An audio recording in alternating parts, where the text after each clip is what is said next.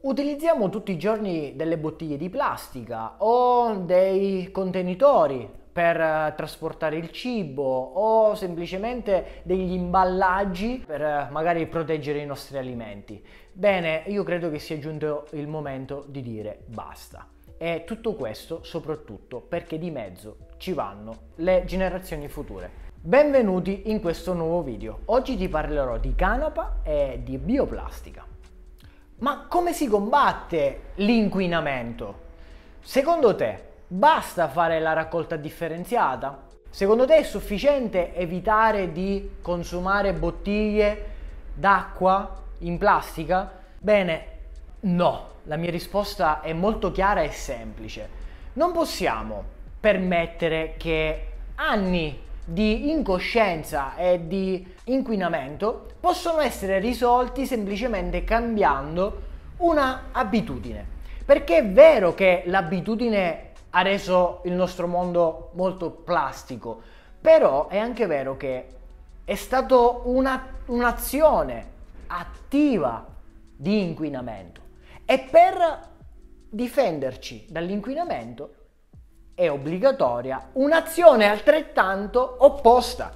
Raccogliere rifiuti come facciamo noi di Cleaning with Bongai nel tempo libero e che ci dà tantissima soddisfazione. Ma seguimi perché il punto non è questo, non è quello di invitarti a far parte della nostra realtà.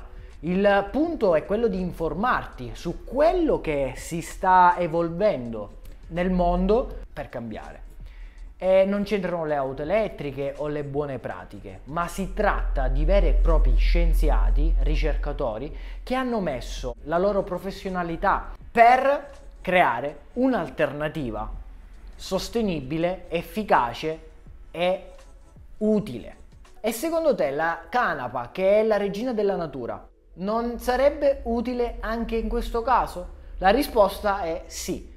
Già da anni conosciamo tutti la presenza di plastica riciclata o bioplastica. Bene, questo prodotto viene ottenuto dall'utilizzo di eh, derivati da biomassa vegetale, come ad esempio estratti di cellulosa e eh, amido, eh, che tipicamente possiamo trovare nel mais o nella canna da zucchero. E al giorno d'oggi, grazie alla ricerca, è possibile ottenerla anche dalla canapa. A questo aggiungerei il fatto che purtroppo non è sufficiente perché questi prodotti vengono realizzati a partire da una parte organica e addizionati ad additivi chimici e questo ci fa già capire che non sono del tutto buoni né per l'organismo altrettanto per l'ambiente.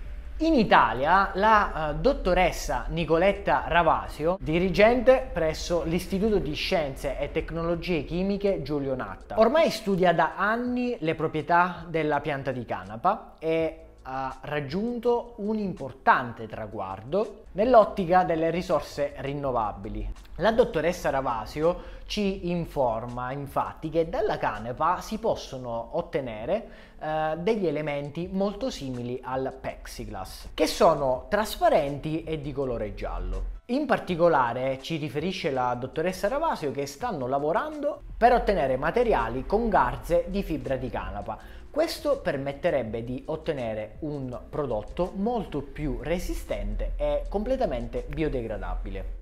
Riferisce che stanno rafforzando questi materiali utilizzando delle fibre di canapa, molto utili soprattutto per migliorare la resistenza di materiali utili alla uh, bioedilizia o al bioarredamento. Dal fusto della canapa, per esattezza dal canapulo, è possibile ottenere fino al 90% di acido lattico, nel quale è possibile produrre il PLA. In sintesi, una bioplastica molto utilizzata nelle stampe 3D. E ehm, continua andando a eh, specificare che il suo contributo è mirato alla produzione di materiali completamente biodegradabili e che soprattutto sono focalizzati a quella nicchia eh, che comprende tutti i giocattoli per i bambini.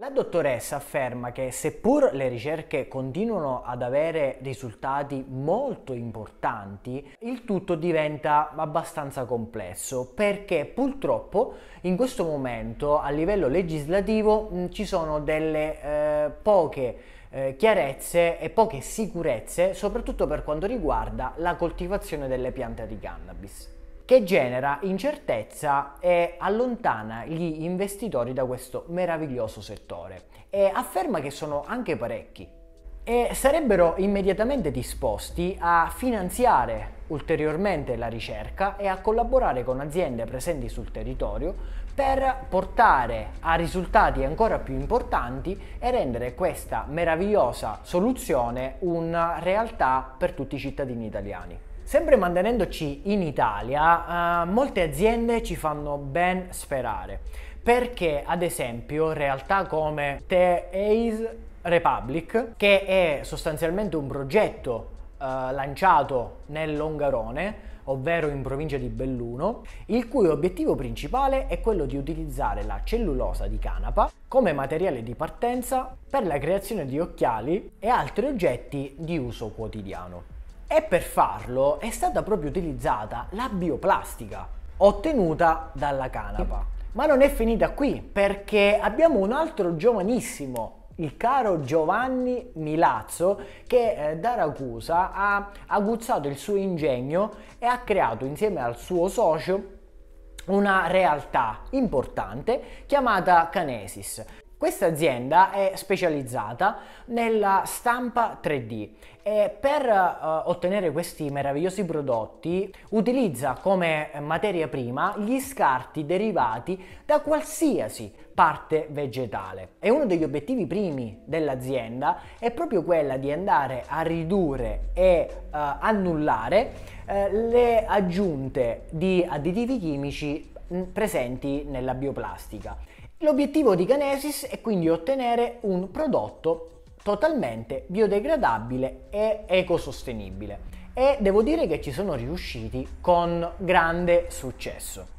E queste gioiellini del futuro già attivi nel nostro meraviglioso paese sono solo alcune e le più importanti, ma considera che eh, molte altre realtà in Europa e anche eh, nel resto del mondo eh, si stanno eh, muovendo per andare a ehm, riequilibrare il rapporto con la natura. E credo che questo, accompagnato con le azioni di molte associazioni senza scopo di lucro, come ad esempio Cleaning with Bongae o uh, Plastic Free, uh, sono delle realtà che stanno facendo la differenza per invertire la rotta che abbiamo imboccato molti anni fa.